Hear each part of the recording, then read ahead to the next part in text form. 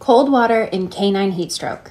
Summer is ramping up here in the United States, and every summer there's some questionable advice that's shared on the internet about what to do if your dog experiences heat stroke. Specifically, how should you cool off your dog? This is a little bit older, but it is fantastic. It's a presentation that happened at WSAVA about management of heat stroke in dogs. These dogs tend to have a core temperature of 105.8 Fahrenheit or higher.